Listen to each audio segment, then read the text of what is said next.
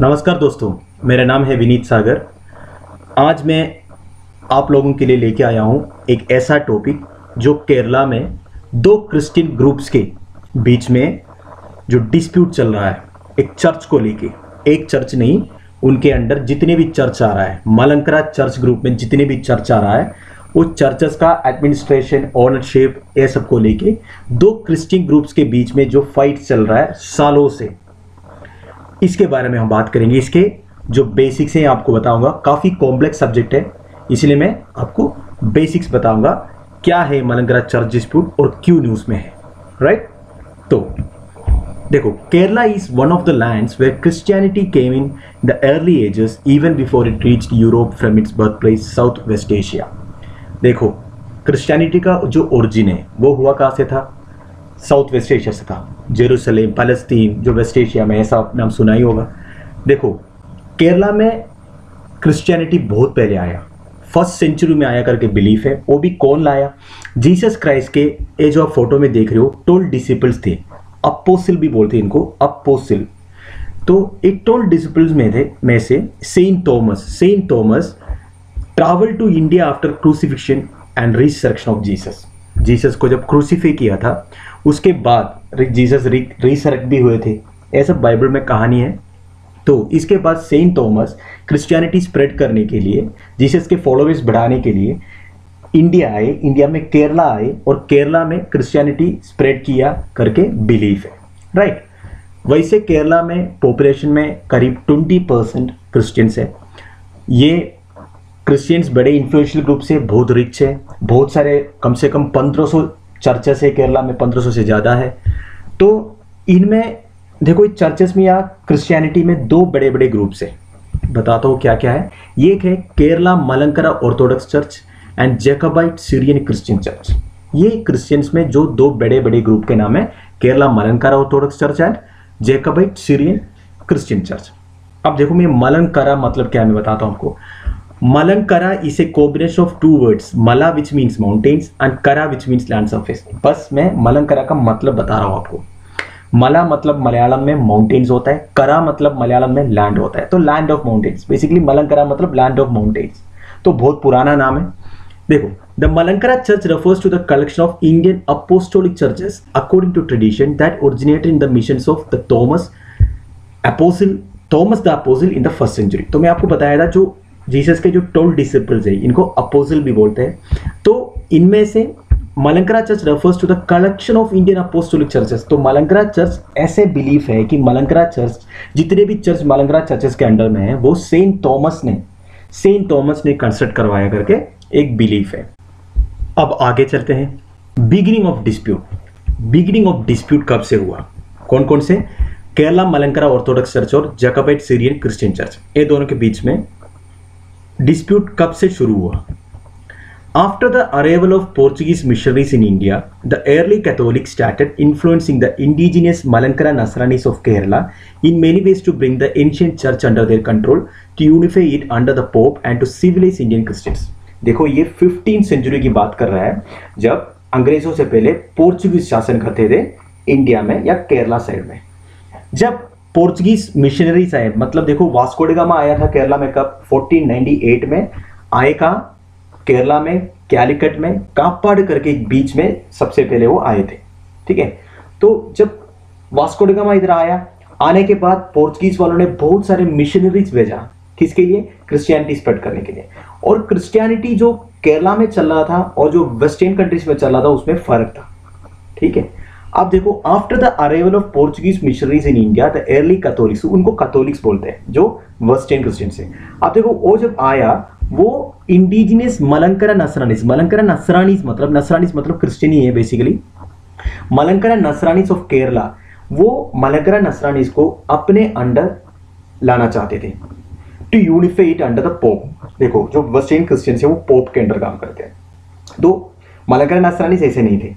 तो पोर्चुगीज वाले क्या चाहते थे कि ये जो केरला के जो नसरानी है जो इंडिजिनियस क्रिश्चियंस हैं, इनको भी पोप के अंडर लाए और उनकी तरह मतलब बेसिकली उनकी तरह क्रिश्चियनिटी को फॉलो करने के लिए ये लोग ट्राई किया they use money material comforts and often threats to the priest of Malankara Nasranis to fulfil their wish initially the local priest did not understand the intention of European Catholics देखो, ये कहानी की तरह समझ सकते हैं। जब पोर्चुगीज आए इधर इधर बिज़नेस करने लगे ट्रेड करने लगे और पैसे कमाए। अब वो क्या चाहते थे कि इधर क्रिश्चियनिटी स्प्रेड करना है? अब वो देखा तो केरला में जो क्रिश्चियन से जो क्रिश्चियनिटी फॉलो कर रहे हैं, वो उनके लेवल पे नहीं है। थोड़ा अनसिविलाइज्ड है, ये बोल रहा था।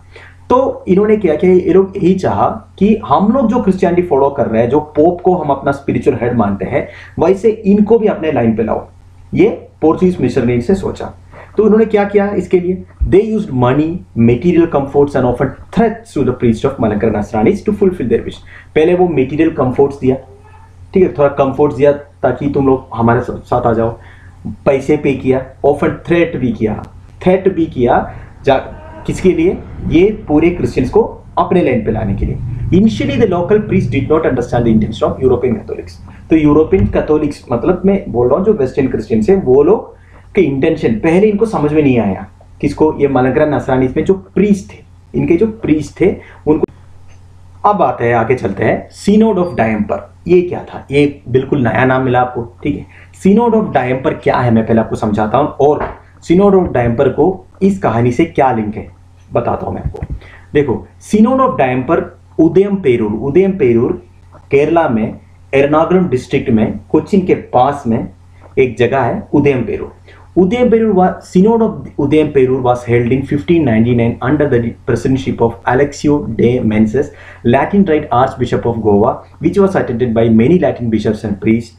The Malankara Nasrani chieftains were invited to the synod. देखो synod मतलब यही समझो एक मीटिंग एक काउंसिल देखो पोर्चुगीज मिशनरीज को मलंगरा क्रिश्चियंस को तो उनके लाइन पे लाना था अब इन्होंने क्या किया पहले मटेरियल कंफर्ट्स दिया मैंने जैसे बोला पैसे दिए ठीक है थ्रेट किया सब किया, इसके बाद इन्होंने क्या, एक मीटिंग कंडक्ट किया। इस मीटिंग में कौन प्रेसिडेंट कौन किया? Aleixo de Menezes Latin rite archbishop of Goa तो पोर्चुगीज के टाइम पे गोवा उनके एक हेडक्वार्टर जैसा था। तो उधर के जो मेन है, जो स्पिरिचुअल उनका जो इंडिया में जो मेन था मेन आदमी था, वो था अलेक्सो डे मेंसस इनके प्रेसिडेंटशिप में इन्होंने उदयम पेरूर मतलब केरला में समझो, केरला में उदयम पेरूर नाम की जगह में एक सीनोड ऑफ़ डायम पर कंडक्ट कराया। मतलब एक मीटिंग समझ लो एक मीटिंग वो एक फ़ोटो में दिख रहा है, ये उस सिनोड ऑफ़ डैम्पर का फ़ोटो है, ठीक है? अब which was attended by many Latin bishops and priest मतलब बहुत सारे लैटिन बिशप्स मतलब उधर से वेस्ट से लैटिन बिशप्स आए प्रीस्ट आए, बहुत सारे प्रीस्ट ये सब उसमें शामिल थे। मलंकरा नसरानी को चीफ टी मलंकरा नसरानी के जो जो चीफ थे, जो मेन मेन आदमी थे लीडर्स थे, उनको भी बुलाया। इसके बाद क्या हुआ? ये resolution was passed at the end of seven days in which the chieftains were persuaded to sign that they are accepting pope as their pontiff ठीक है? तो ये है, ये मीटिंग सात दिन चला। सात दिन के पास एक रेसोल्यूशन पास हो गया और जो चीफ टेन्स थे, मलंकरा नसरानिस के इनको भी यही बोला कि अब तुम्हारा जो हेड होगा, वो पोप होगा। तुम्हारा पोंटिफ जो हेड है, वो पोप माना जाएगा। मतलब ये एक तरफ़ की ज़बरदस्ती थी। Gradually, the Portuguese destroyed the manuscripts of Malankara Nasranis, ignored their ritual customs. देखो मीटिंग तो कंडक्ट कराया पर वो थोड़ा यूनिलैटरल था। अब देखो वो मीटिंग के बाद इनको रेजोल्यूशन साइन करना ही पड़ा क्योंकि थ्रेट्स था वो लोग ज़्यादा थे उनके पावर ज़्यादा थे। अब मलंकरा नसरानी के जो चीफ टेंस थे चीफ थे चीफ ही मान लो चीफ थे उन लोगों को साइन करना ही पड़ा। पर इसके बाद क्या हुआ? Gradually Portuguese started destroying the manuscripts of Malankara Nasranis हमारे जो मलंकर नसरानीस के जो स्क्रिप्ट थे जो रिलीजियस टेक्स्ट थे वो सब उन्होंने डिस्ट्रॉय किया। इग्नोर द रिचुअल कस्टम्स जो कस्टम्स फॉलो कर रहे थे उसको भी इग्नोर कर दिया। Which had close resemblance with Hindu traditions in their style, art, performance, style of worship and rituals. यही तो प्रॉब्लम थी। क्योंकि जब पोर्चुगीज वाले उधर से आए उनका जो क्रिश्चियनिटी है जो केरला में और और केरला में जो क्रिश्चियनिटी फॉलो हो रहा है उसमें काफ़ी फ़र्क था। केरला में जो सालों से क्रिश्चियनिटी चल रहा था, उसमें हिंदू रिचुअल्स हिंदू जो फॉलो करते, उससे काफ़ी संबंध था, काफ़ी रिलेशन था। तो यही तो मेन वजह था, उनको ये पसंद नहीं आ रहा था। दे डिस्ट्रॉयड और modified altars of indigenous churches and so on altar मतलब जो चर्च में, जहाँ पूजा पाठ होता है, उस एरिया को अल्तार बोलते हैं राइट तो वो सब उन्हें मतलब जो भी इनको डिस्ट्रॉय करना था, वो सब कर लिया। Gradually the Malankara Nasrani is worried and lost and wanted to get rid of this culture and physical annexation एक तरह का फ़िज़िकल एनेक्सेशन हुआ। ठीक है? ज़बरदस्ती थी। अब, पहले तो नालंदा सर ने साइन तो कर दिया, सात दिन के बाद मीटिंग पर साइन तो कर लिया, पर अभी फंस गया। मतलब साइन करने के बाद ज़बरदस्ती हो गया। पूरा इनकी, जितने भी इनके जो बुक्स थे, इनके जो रिचुअल्स कस्टम सब फॉलो करने के लिए मना कर दिया गया और डिस्ट्रॉय कर दिया गया इनके चर्च अब आ रहा है the Coons and cross oath Coons and cross oath मतलब क्या है? मैं समझाता हूँ आपको। ये भी एक नया वेडी है। देखो कून एंड क्रूज मतलब क्रूज का नाम दिया है कूनन। वो भी एक मलयालम वर्ड है यही समझ लो। कून एंड क्रूज ये जो क्रूज आपको दिख रहा है ये क्रूज उसको कून एंड क्रूज बोलते हैं नाम दे दिया। आप देखो उसकी कहानी। Saint Thomas Christian Saint Thomas Christian priests and chieftains assembled at Matanjiri Island near current Kochi on January 3rd, 1653 after 54 years of Synod of Damper. देखो सिनोड ऑफ़ डैम्पर तो हुआ था ज़बरदस्ती भी हुई थी। इसके 54 इयर्स बाद Saint Thomas Christian priest Saint Thomas Christian मतलब मलंकरा नसरानी सी मान लो, जो केरला के जो क्रिश्चियंस हैं, वो सेंट थॉमस के फॉलोअर्स हैं। मैंने आपको पहले ही बता दिया, क्योंकि फ़र्स्ट सेंचुरी में सेंट थॉमस आए थे, केरला में और क्रिश्चियनिटी स्प्रेड किए थे। तो केरला के जो क्रिश्चियंस हैं, उनको सेंट थॉमस क्रिश्चियंस भी बोलते हैं, मलंकरा नसरानीस भी बोलते हैं। अब सेंट थॉमस क्रिश्चियन इनकी जो प्रीस्ट और चीफटेन्स है, ये मटांचेरी आइलैंड जो करंट कोची के पास में एक जगह है कोस्टल एरिया है, उसके, वो मटांचेरी आइलैंड में इकट्ठा हो गया। 54 इयर्स आफ्टर 54 इयर्स 54 इयर्स के बाद वो लोग इकट्ठा हो गया। किस लिए? They protested the Portuguese authority and wanted to maintain their tradition of their culture वो पोर्चुगीज अथॉरिटी बिल्कुल पसंद नहीं थे। उनका कस्टम्स और कल्चर को वो लोग मना कर रहा था तो बिल्कुल पसंद नहीं थे। तो they protested the Portuguese authority वो प्रोटेस्ट करने के लिए इकट्ठा हो गया। और वो प्रोटेस्ट प्रोटेस्ट का एक तरीका था। कैसे? They planted a stone cross and to oath to protect the culture of original Saint Thomas Christians देखो, ये जैसे फ़ोटो में दिख रहा है, ऐसे एक स्टोन क्रॉस बना दिया। और उसमें क्या किया? बहुत सारे बंदे आए थे। तो क्या इसमें टच करके शपथ लेना था कि अब हम पोर्चुगीज अथॉरिटी को नहीं मानेंगे। हमें अपना पुरानी रिचुअल्स पुरानी कस्टम्स पुरानी कल्चर जो हम फॉलो कर रहे थे सालों से, वो चाहिए। अब सबको, सब तो टच नहीं कर सकता इसमें क्योंकि बहुत ज़्यादा बंदे आए थे। अब इन्होंने क्या किया? एक तरीका निकाला, एक रेसी बांधा ऐसे जो फ़ोटो में दिख रहा है रेसी बाँध के वो रेसी सब सबको बोला जो हेड है वो सबको बोले रेसी में टच कर दो। सब तो स्टोन क्रॉस में टच नहीं कर सकते। इसलिए रेसी में टच कर दो और शब्द ले लो अब से हम पोर्चुगीज अथॉरिटी को नहीं मानेंगे। राइट तो ये था इनकी कहा आगे चलते हैं। Though this was done from time to time they invited bishop from Antioch for their ordination They remained unaltered, remained independent, and continued receiving ordination from the Patriarch of Antioch till the last decade of 19th century. कुछ समझ में नहीं आया होगा? मैं समझाता हूँ। देखो कूनन क्रूज ओथ के बाद पोर्चुगीज धीरे धीरे इंडिया से चले गए। पोर्चुगीज अथॉरिटी भी लोग मान नहीं रहे थे। फिर भी केरला क्रिश्चियंस में वेस्टर्न कल्चर एकदम क्लियर दिख रहा था। देखो केरला क्रिश्चियंस ने उनका जो स्पिरिचुअल हेड है, उनके जो पैट्रियाक है पैट्रियाक मतलब अब फादर फाउंडिंग फादर समझ लो हेड समझ लो स्पिरिचुअल हेड समझ लो। केरला क्रिश्चियंस ने उनका स्पिरिचुअल हेड माना किसको?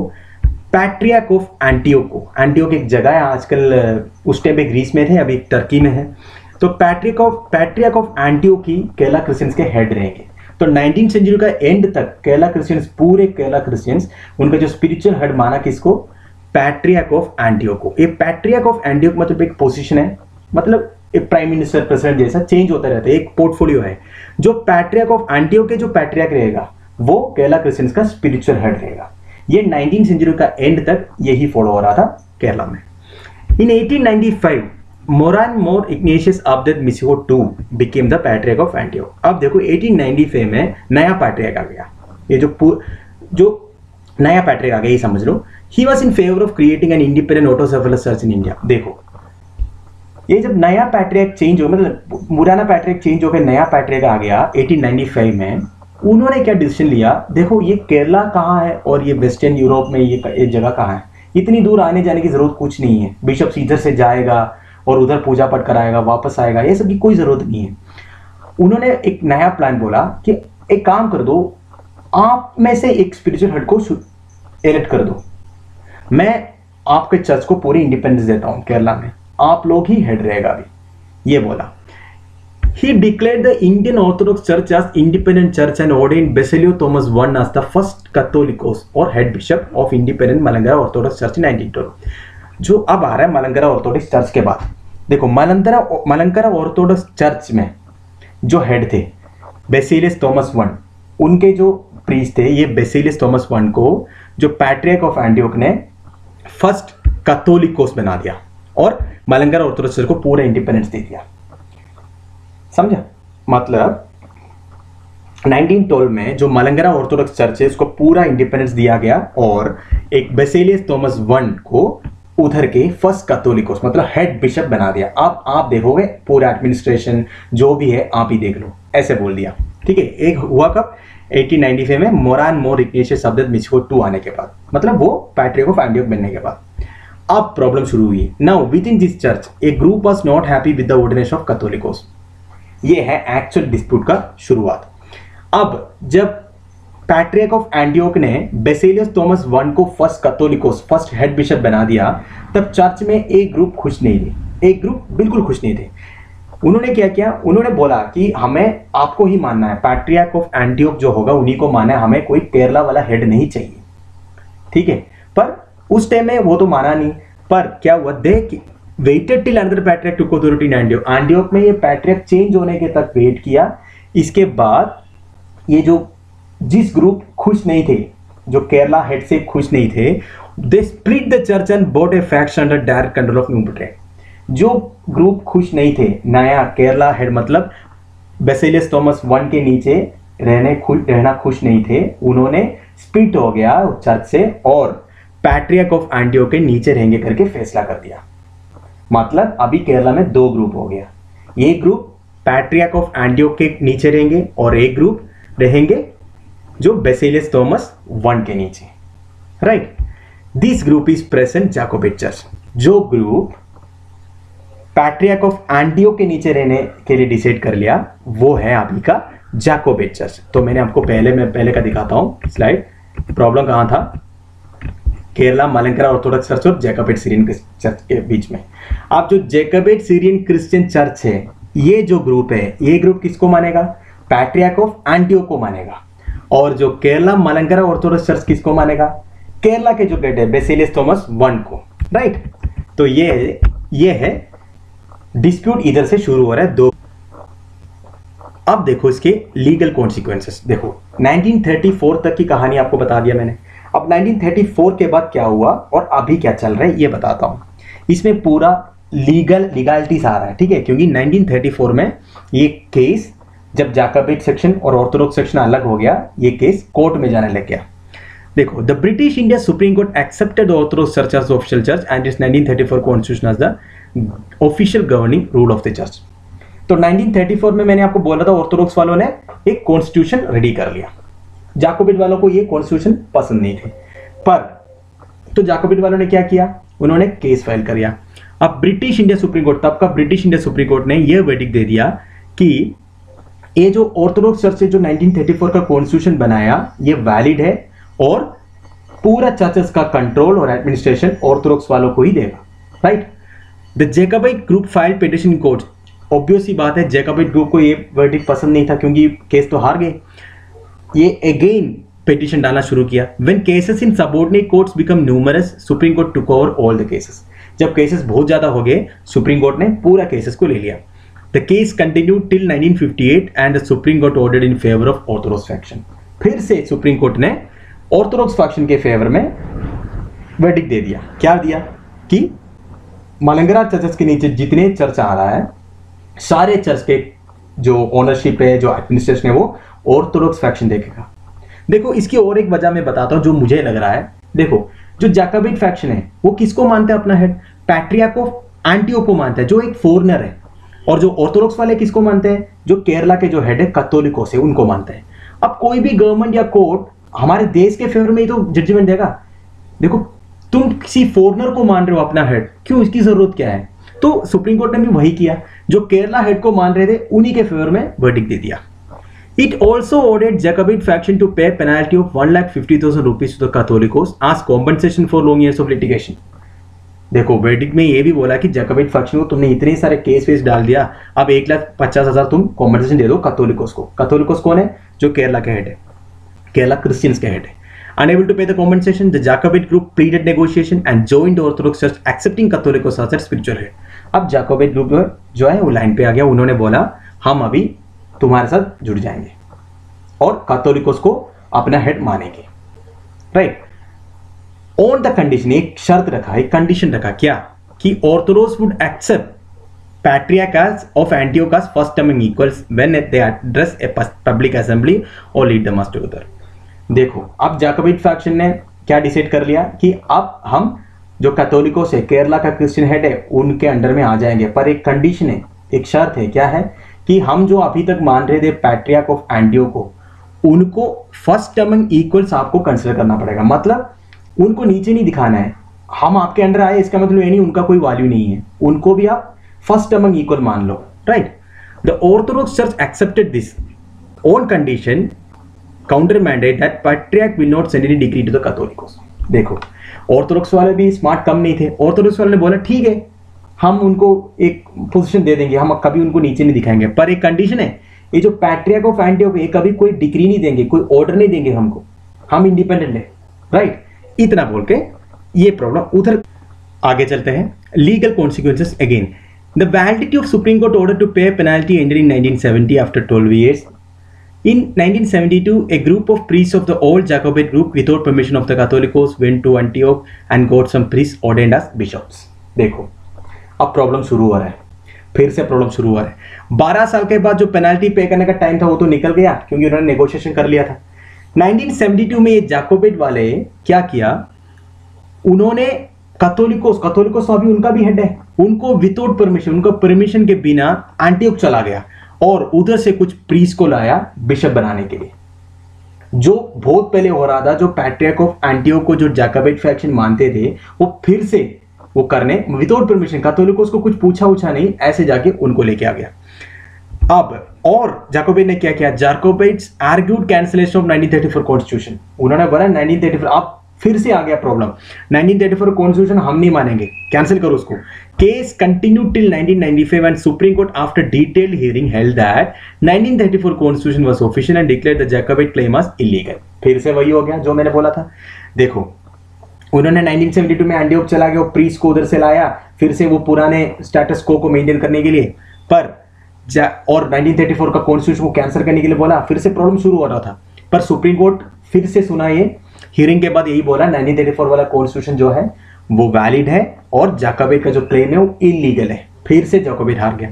Now they started filing petition the local courts claiming ownership of local parishes in which the support is are in majority again the case has went to apex court अब देखो, ये सब के problem मैं बता रहा हूँ। जो चर्च है केरला में, जितने भी चर्च है उनके पास बहुत सारा प्रॉपर्टी आप विश्वास नहीं करोगे कितना है। उनके पास बहुत प्रॉपर्टी है। वो लोग मेडिकल कॉलेज ऑन कर रहे हैं इंजीनियरिंग कॉलेजेस ऑन करते हैं। उनके चर्चेस बहुत बहुत रिच चर्चेस है इनका। इनके प्रॉपर्टीज़ बहुत है, इनके हॉस्पिटल्स है। ठीक है? तो इसलिए इनका एडमिनिस्ट्रेशन मिलना मिलना भी एक बहुत बड़ी बात है राइट तो जाकोबिक भले हार गए केस फिर से चला गया लोकल कोर्ट्स में कि ओनरशिप तो दे दो मैं, क्योंकि कुछ एरिया में जाकोबिट फैक्शन का मेजोरिटी है। केरला में कुछ चर्चेस में, कुछ एरिया में जाकोबिट फैक्शन ज़्यादा है। कुछ एरिया में ऑर्थोडॉक्स ज़्यादा है। तो जहाँ जाकोबिट ज़्यादा है, उन्होंने ये अभी बोलने लग गया, हमें ओनरशिप तो दे दो, इतनी प्रॉपर्टी राइट आगे चलते हैं। फिर से ये केस सुप्रीम कोर्ट पहुँच गया। अब जो लेटेस्ट वर्डिक में बोल रहा हूँ, जुलाई थर्ड 2017 में, ठीक है? 17 में सबसे लास्ट वेडिक्ट आया। The Supreme Court order that all churches which existed prior to 1972 and later constructed by Orthodox church would be ruled by 1934 constitution and priest appointed by Orthodox bishops will lead mass in those churches फिर से वही हो गया। 1934 constitution को फिर से valid करा दिया कर दिया गया और बोला ऑर्थोडॉक्स फैक्शन के जो बिशप है, वही पूजा पाठ है उनका जो एडमिनिस्ट्रेशन है, सब वही करेंगे। मतलब अगेंस्ट जैकबिट वालों के अगेंस्ट वेडिक्ट आ गया। Since then Orthodox have started taking control of churches with the help of execution orders. They obtained from various courts under the main Supreme Court verdicts of 95 and 2017. तब से Orthodox वाले भी शांत नहीं बैठे। जब से उनके पास 2017 और 1990 का वर्डिक्ट का पेपर आ गया वो लोग क्या किया? जहाँ उनके मेजोरिटी कम भी है चर्चेस में, वो भी अपने कंट्रोल में लाना शुरू कर दिया। मतलब पूरा कंट्रोल अभी ऑर्डर तो एक्सिक्यूशन ऑर्डर मिल गया अभी। अब क्या करना है? जहाँ इनकी मेजोरिटी कम भी है ना, उधर भी लोग बोला, अब ये चर्च वर्च हमें दे दो। ऐसा बोलने लग गया। At time Supreme Court has warned Kerala High Court for disposing some churches in favour of Jacobite faction अब केरला हाईकोर्ट बीच में केसेस केरला हाईकोर्ट में आने लग गया। अब देखो केरला हाईकोर्ट में बीच बीच में ऐसे भी वेडिक्ट आया था जैकोबिट फैक्शन को भी दे दो भाई। क्योंकि प्रॉब्लम बहुत हो रहा था, दोनों के बीच में फाइट्स बहुत हो रहा था। तो सुप्रीम कोर्ट वर्डिक्ट होने के बावजूद केरला हाईकोर्ट ने भी ये बोला कि जैकब डिफेक्शन अभी के लिए कंट्रोल कर लो। अब ज़्यादा फाइट नहीं करना है। इट स्ट्रिक्टली पर सुप्रीम कोर्ट में फिर से पिटिशन आने लग गया। तो सुप्रीम कोर्ट ने कंडक्ट ऑफ़ कोर्ट भी रखा और बोला strictly want the state government of consequences for not enforcing order देखो सुप्रीम कोर्ट ने अपना वेटिक दे दिया। क्लियर बोला कि ऑर्थोडॉक्स फैक्शन को ही देना है पूरे पावर्स अब तुम ज़्यादा उसमें इंटरफेयर मत करो। उन्होंने स्टेट गवर्नमेंट को क्लियरली बोला कि आप मेरे ऑर्डर को एनफोर्स करना ही करना है। It further went on to want the state chief secretary of imprisonment if order is not enforce with strict time limits जब प्रॉब्लम ज़्यादा हो रहा था तो सुप्रीम कोर्ट ने यहाँ तक बोला कि चीफ सेक्रेटरी जो केरला के आई ऑफिसर है, उनको बोला, आपको हम इंप्रेशन कर लेंगे अगर आप ठीक से एनफोर्स नहीं करोगे तो। हमने जो बोला है, आपको बोल दिया 2017 जुलाई थर्ड को वर्डिक्ट फाइनल दे दिया ऑर्थोडॉक्स वालों को दे दो। Right but to the Jacobite group their bishops may lose authority and priest may lose their jobs देखो जाकोबिट ग्रुप को क्या प्रॉब्लम होगा? उनके भी तो बिशप्स हैं। उनके पूरे अथॉरिटी चला जाएगा, क्योंकि ऑर्थोडॉक्स वाले पूरे चर्चेस का कंट्रोल ले रहा है। The Christian church estates in Kerala include यही मैंने बोला Christian church estates in Kerala include medical colleges engineering colleges and other education institutions which make huge profits apart from plus parish यही तो problem है। इनके पास वेल्थ बहुत ज़्यादा है, इनके पास प्रॉपर्टीज़ बहुत ज़्यादा है, इनके पास पैसे बहुत ज़्यादा है, इसलिए ये ऑनरशिप के पीछे पड़े हैं। Currently about 160 parishes are under the control of Jacobites, but court order is in favor of Orthodox. अभी भी 160 parishes या churches जैकोबिट के अंडर में है। मतलब अभी प्रेजेंट कंडीशन बता रहा हूँ मैं। क्योंकि जहाँ जैकोबिट्स की मेजोरिटी ज़्यादा है पॉपुलेशन ज़्यादा है, वो जैकोबिट वाले का ही सब जो पूजा पाठ है, जो रिलीजियस थिंग्स है, वो सब जैकोबेट जैसे ही चल रहे हैं। क्योंकि उनका मेजोरिटी ज़्यादा है उधर। पर ऑर्डर किसके पास एग्जीक्यूशन ऑर्डर किसके फेवर में है? ऑर्थोडॉक्स के फेवर में है। देखो, एक न्यूज़ भी आया था, ये century old church dispute in Kerala flares up again आज Supreme Court rejects plea on leadership It is the fourth intervention in the row between Orthodox and Jacobite faction. The court said control of parishes would remain with the former. तो supreme court ने clear बोला 1934 का जो constitution Orthodox वालों ने जो बनाया था, वही फाइनल रहेगा तो ये लेक्चर अभी मैं खत्म कर दिया अब देखो, ये सब प्रॉब्लम आपको, आप आप लोग एक कहानी की तरह सुना होगा, पर मैं जितना बोल रहा हूँ, उतना आसान नहीं है ये बात फाइट्स बहुत हो गया, यहाँ तक ही हो गया कि स्ट्रीट्स में फाइट्स हो गया इधर इसलिए न्यूज़ में बहुत आ रहे थे, ठीक है? तो अभी भी न्यूज़ में इसलिए आ रहा है कि जो सुप्रीम कोर्ट वर्डिक्स है, उसको ठीक से इन्फोर्स नहीं कर पा रहा है, क्योंकि जनता, जहाँ जोकाबिट जाकोबिट फैक्शन का मेजोरिटी जहाँ ज़्यादा है, उधर वो इन्फोर्स करने नहीं दे रहा है राइट इसलिए आजकल न्यूज़ में है और ज़्यादा डिस्प्यूट ज़्यादा बढ़ गया। तो अगेन इसमें पता नहीं अभी और हियरिंग होगा, नहीं होगा, ये सब पता नहीं। तो केरला में तो ये क्रिश्चियन ग्रुप्स में बीच में जो फाइट है, अभी भी फायर में है। तो ये रहा मेरा मलंकरा चर्च डिस्प्यूट के बारे में उम्मीद है आप लोगों को समझ में आ गया होगा। मैंने आपको ज़्यादा डीप में नहीं बोला कुछ, बस ऊपर ऊपर से बता दिया। तो इसकी एक छोटा सा आइडिया आपको लग गया होगा, मुझे उम्मीद है। आप लोगों को कुछ डाउट्स है तो कमेंट बॉक्स में पूछ सकते हो। Thank you for watching bye bye